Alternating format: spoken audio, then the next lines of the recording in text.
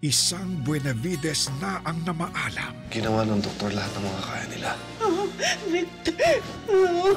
Buo pa ang mga Reyes. May natagpuan po kami bangkay, sir. Kaninong apelyido ang susunod na mababawasan? The stars won't shine anymore. I'll be there. Good Son after La Luna Sangre.